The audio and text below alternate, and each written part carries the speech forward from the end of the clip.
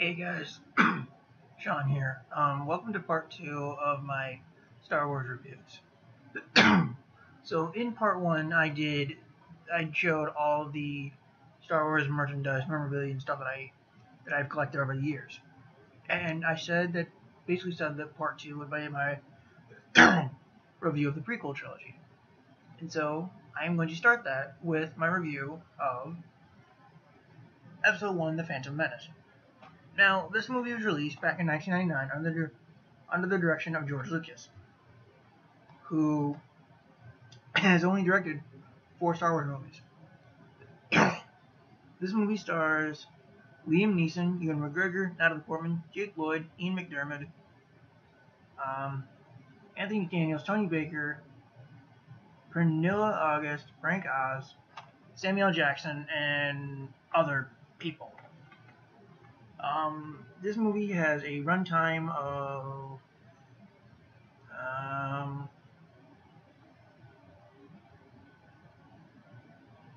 just got done watching the movie and I didn't take the look check the runtime. Hold on. It has a runtime of two hours and 13 minutes. Um, so yeah, this movie is set about is, is set 32 years before of the events of Episode 4 um, story follows Jedi Knight Qui-Gon Jinn apprentice Obi-Wan Kenobi as they protect Queen Amidala in hopes of securing a peaceful end to a large-scale implanetary, interplanetary trade dispute. Joined by Anakin Skywalker, a young slave with unusual inherent powers of the Force, they simultaneously contain, contend, contend with the mysterious return of the Sith. So this movie is the fourth released in the Star Wars saga, but it is, as this says, it is the first in chronological order. And for newcomers of Star Wars, I would recommend you start with this one. Most people would say that you should start with you start with this, but I recommend I respectfully disagree. Start with this one. But that's just my opinion. But anyway, um, this movie I I just got done watching it, and I do think it's a very fun movie. I think it's very entertaining. Um, yeah, it does have some boring parts, but all in all, I think it's a very fun, fun and entertaining movie. Um, I do like the cast that they have in here. Um, I do like the cast. Um, Liam Neeson I thought was great as as Qui Gon Jinn. Sadly, he's killed off in this movie. Um, uh, let's see. I, I liked um, Natalie Portman as Queen Amidala, also known as Padme. Um, uh, Ewan McGregor I thought was good as, as a young Obi Wan who is basically taking over for the taking over the role of Alec for from Alec Guinness from in the episode four through six, which I'll probably review those tomorrow. Um, and then you got Jake Lloyd as the as the young Anakin Skywalker, the future the future Darth Vader and Dark Lord of the Sith. Um, so yeah, I do quite enjoy this movie. Um, some of the, the the score for these movies are is really good. Um, I would say that the Star Wars music and the Middle Earth music are my two favorite um, movie uh, scores. Um, so yeah, this is a this is a fun movie. Um, do I have any nitpicks of this movie? Um, uh, probably a couple nitpicks, but I, but one I will mention is the, and I know a lot of people are gonna probably are gonna probably shoot me for this one, but I really didn't like the puppet Yoda. And I know it's it's just it's just my opinion. Now, honestly, I think the puppet works for episodes four and five, or for episodes five and six. But when you're trying to portray a younger Yoda, the puppet just looked. It looked like they were trying to portray, uh, portray an older one, if that makes any sense. Because the way the puppet was designed, it did not look like a young Oda, a young Yoda. But just me.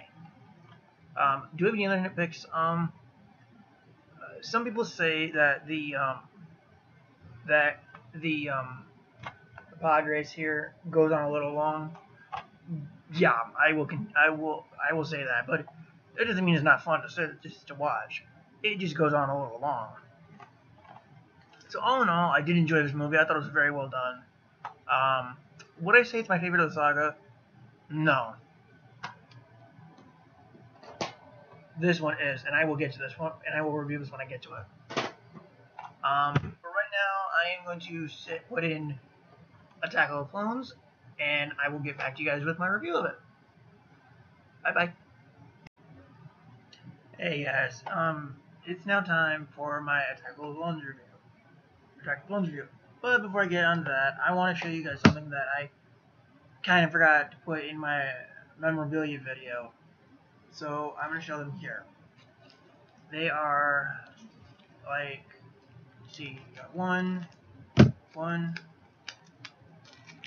two, eh, they're basically packs of episode 2 trading cards.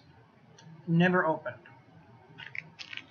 So I just thought I'd show them to, to so you guys can see because I forgot to put them in my memorabilia video. Anyway. You guys are here for my review of Attack of the Clones. Now, this was released in 2002, again under under the direction of George Lucas. Um, it was written by George Lucas and Jonathan Hales. It is the second installment of the prequel of the prequel Star Wars prequel trilogy. Again, released in 2002, and it stars Ewan McGregor, Natalie Portman, Ian Ian McDiarmid, Sam Jackson, um, Christopher Lee, Anthony Daniels, and Frank Oz. Um, Jake Lloyd is replaced by Hayden Christensen in this movie, as, as this film takes place 10 years old, 10 years later.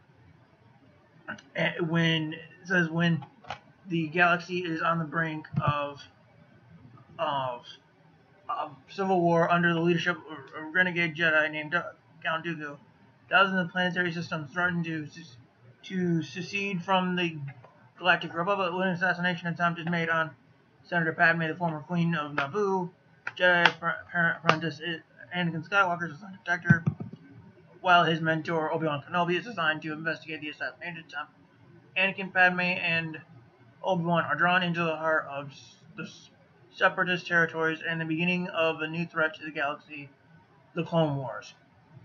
So, this movie I, I think is very is is a very good movie. I find it very enjoyable. The runtime is an hour or two hours and forty two. It's two hours and twenty two minutes, which makes it I think the longest Star Wars movie. I, I'd have to check that. I'd have to look that up. But I'm pretty sure it's the longest of the Star Wars movies. Um, so yeah, I find this very enjoyable. Do I have any nitpicks with this movie? Um, there's one nitpick I think that I would say, a couple nitpicks. Um, they say in this movie that Jedi's are not supposed to fall in love, meaning they're not supposed to get married, have yeah, blah blah blah. If that's the case, how do you explain all the all the younglings? What did they just resort to the Man of Steel code and just have them all grown in a laboratory? Just a little confusing. And um, and there's a part where Anakin basically kills the sand people on Tatooine when he when his mother's dead. If he kills them all, if he's killed them all, including the women and children, like he says, how are there still sand people in episode four? Just a couple nitpicks. I was a little, you know what I mean. So yeah, this was released um, May 16, 2002. Um, again, under the direction of George Lucas. The music was done by you know John Williams, like always. Um, this movie was the budget was 150 million dollars, and it made back 649.4 million. So a good chunk of change, in my opinion. Um. So yeah, I think this is a very fun movie.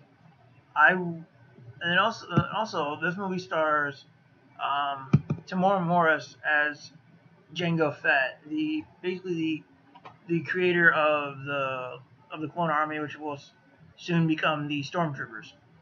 And this movie also shows the, I guess you could say, the origin of Aunt Owen and Uncle Beru, or Uncle Owen and Aunt Beru from Episode 4, and how they kind of fit into the mythology, which I thought was really cool to see, to see that. Um, some people say in this movie that Anakin is just a just a whiny kid you know, always whiny, bratty, and whatnot. Well, that's because he's a, basically a teenager. He hasn't basically matured yet. That's episode three. That's when he's he matures in episode three. But I just wanted to put that there. So I really like this movie. I think it's I think it's a lot of fun.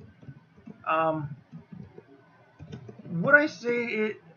I do admit this movie is a little bit better than Phantom Menace, um, but not by much. It's it's still not my favorite in the saga. That is actually the movie that I will be reviewing next.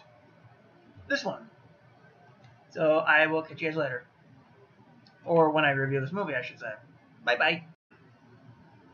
Hey guys, it's Revenge of the Sith time. Yes, I just got done watching episode 3 of Revenge of the Sith. And may I just say, this is my favorite of the entire series. Like, literally, my favorite of the entire series. But before I get to the review, same as with the last one, I want to show you some forgotten memorabilia, we'll just say that. And it is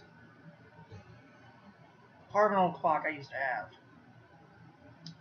Um, I used to have like a clock that this went to, but it broke for somehow.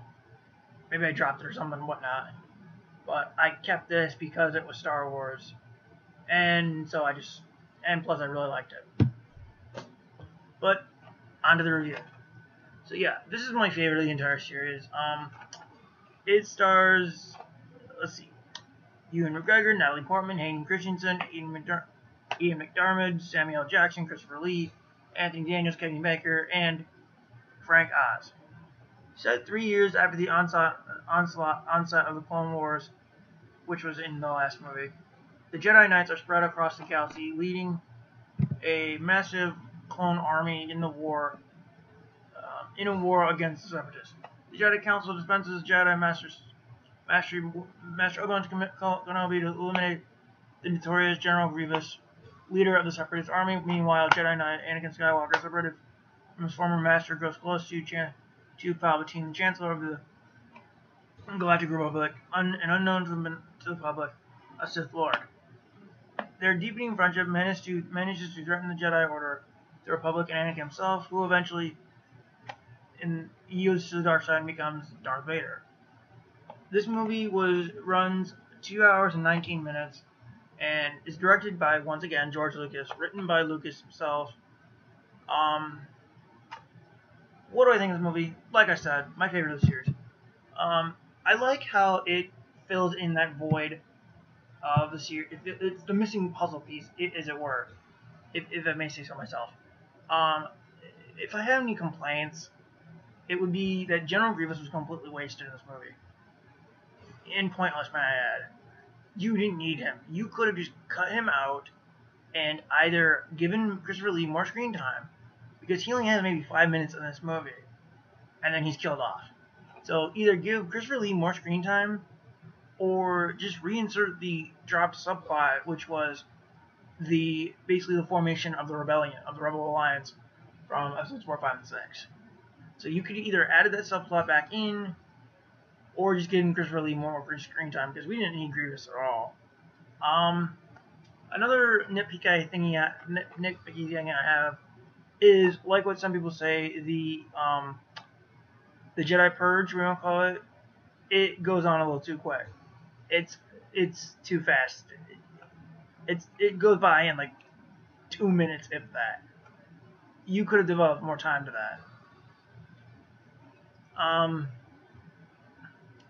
and then there was a, a deleted scene in this mo- in, of this movie that I wish that they would have kept in, which was this scene where it shows Yoda arriving on Dagobah. Even though it's only only a three, 30 second scene, I wish they would have kept that in for people who may not have seen these movies and are and wanted to start with these with the prequels, because otherwise you wouldn't take it would take two movies for you to know where Yoda ends up. And, I mean, I can see why they left that scene out. Be probably for people who've already seen four, five, and six, and obviously know where he ends up. But you got to think for for newbies to the series who start with one, two, and three, we got to know where Yoda ends up. I'm just saying. But yeah, this is an all around a good movie. I I enjoy it. It is my favorite of the series. Um, and like I said in my Phantom Menace in the Phantom Menace section of this, um, I may get shot for this, but I actually do prefer the uh, CG Yoda over the puppet because the CG Yoda looked looked like a younger Yoda. The puppet looked like he's still old, but just me. Um, so yeah, I have enjoyed doing the, these, watching these prequel movies and reviewing them. Um, I will do the original trilogy tomorrow, or later today, whichever you want to call it. Yeah, I will be doing the, the original trilogy um, tomorrow, and I will watch them. The special editions, I will watch the special editions. I don't watch the theatrical ones, or as people call them, the unaltereds. I don't watch those. I never will. So I will be basing my review basing my review on these special editions. So I'll see you guys when I do the original trilogy. Bye bye.